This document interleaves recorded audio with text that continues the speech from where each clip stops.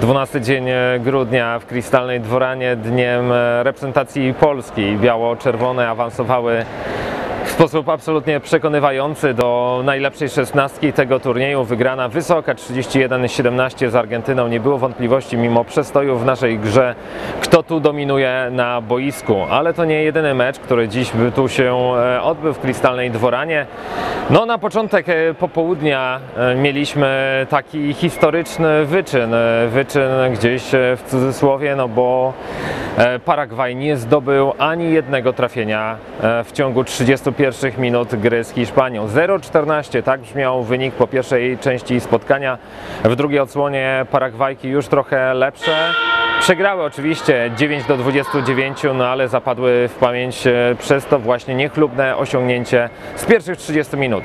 Na koniec dnia najciekawszy dziś, najbardziej wyrównany mecz, e, potyczka Norwegii z Angolą 26-21, wygrywają Skandynawki, no ale dziś musiały się trochę natrudzić, bo naprawdę Afrykanki zagrały z wielkim sercem i gdyby może zachowały więcej spokoju i więcej takiego intelektu sportowego, dziś mogły nawet pokusić się może nawet o remis.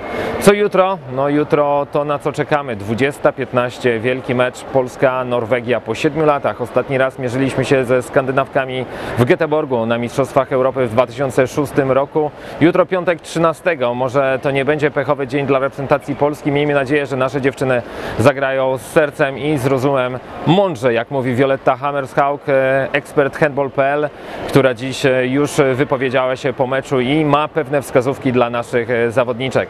Jeszcze jedna informacja. Rumunia dziś e, wygrała e, z Węgrami. To trochę nam zmienia układ sił, jeśli chodzi o grupę D.